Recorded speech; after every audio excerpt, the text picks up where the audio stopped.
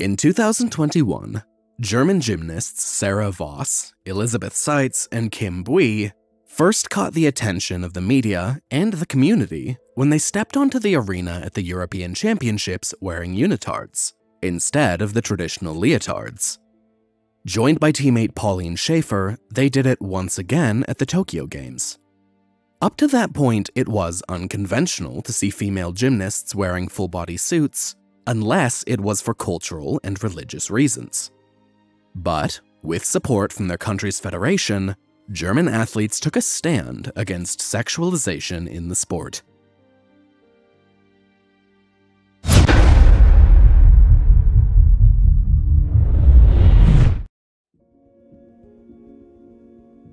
Wearing a leotard has been the common practice in women's gymnastics for decades. Comparatively, male gymnasts wear singlets with loose shorts or long pants, which are not so revealing.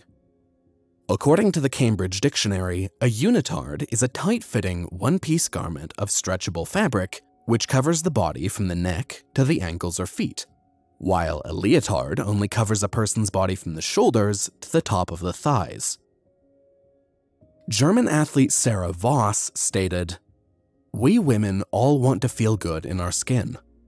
In the sport of gymnastics, it gets harder and harder as you grow out of your child's body.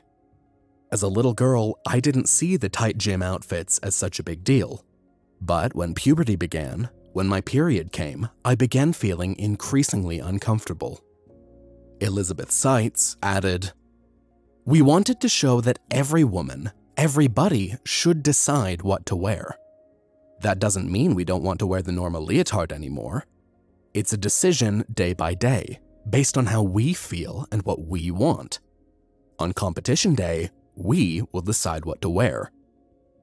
They did not break any rules, as the Code of Points allows both versions of competition attire. The German Federation fully supported its gymnasts, adding that the issue has become all the more important to prevent abuse, which has been a hot topic in recent years. Voss said she was proud of the decision and hopes more gymnasts follow her example if they feel uncomfortable in the most common outfits.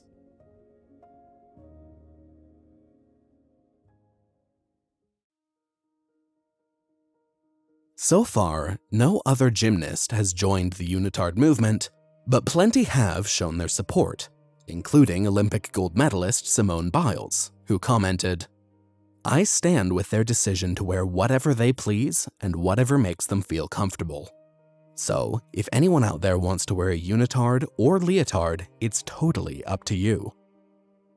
However, Biles revealed she won't be wearing a full-body suit for her own personal reasons, as leotards make the legs appear longer during competition, therefore making her look taller.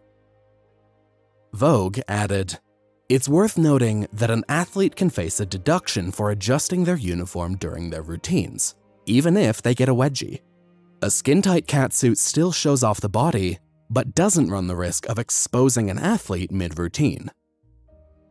Matt Cowan from GK Elite, a global manufacturer, said most requests for unitards came from countries that required modesty for cultural and religious reasons.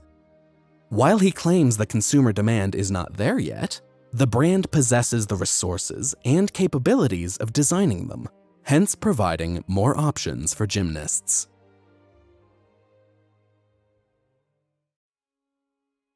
The German women's Olympic gymnastic team's decision to wear unitards has highlighted the sexism long associated with women's sports and what they wear. According to the Institute for the Study of Sport, Society, and Social Change at San Jose State University, it's not just about the uniform. It's about creating equity, inclusion, and space for these young women, who are still growing into womanhood, to find and continue to use sport as a place of empowerment. Whether it's in a leotard or a unitard, what's important is for these athletes to feel the most comfortable and not have to be concerned about how they look or whether they are being objectified in these spaces of competition.